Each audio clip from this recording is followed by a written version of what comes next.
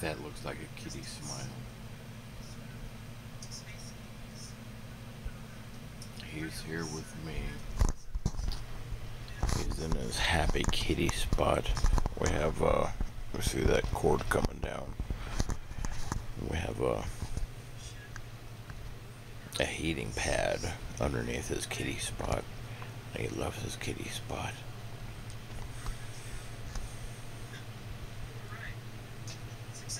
That was sweet meow meow.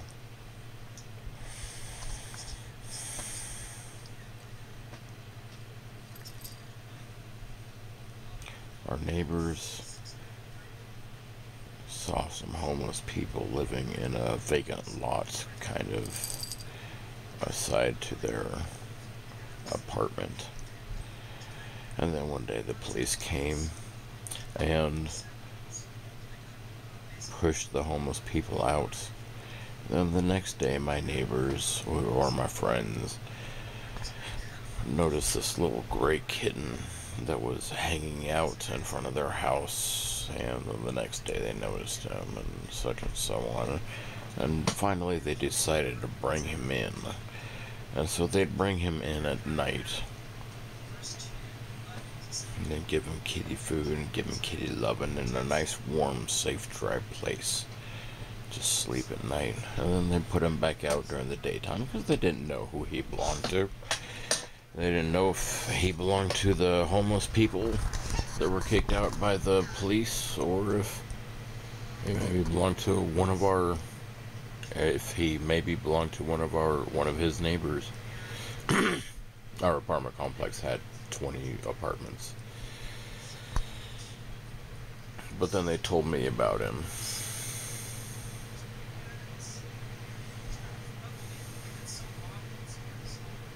And I came over and I wanted to see him.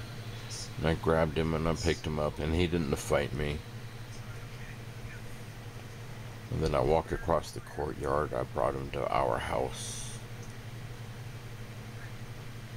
And then I kind of lived upstairs. Mom kind of lived downstairs.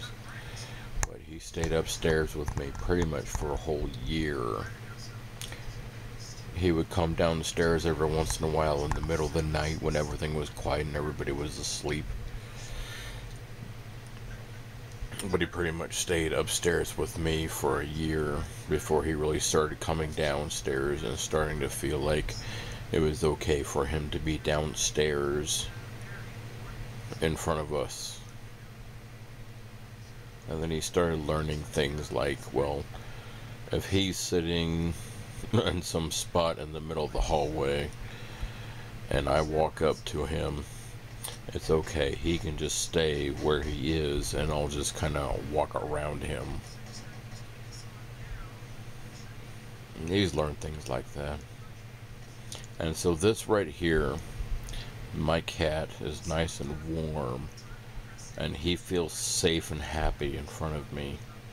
So safe in front of me that he's willing to fall asleep in front of me. He feels safe around me. And that makes me feel good. I love you, sweet Meow Meow Kitty. I'm glad that he feels safe around me, safe enough to be able to sleep comfortably. He's gotten used to all the noises I make and all the noises that the computer makes and everything.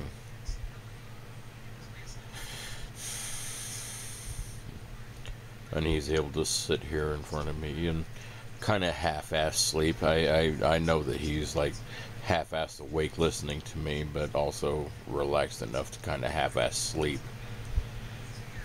I love it, Twikita baby. It feels good that he trusts me this much. I love you, Anakin. I love you, sweet meow meow. I love you, people. Good luck and be careful and be safe in this COVID 19 era. Let's hope and pray that 2021 is is a lot better than 2020 and then maybe 2020 will be half-assed better than than 2020. 2021 will be half-assed better than 2020.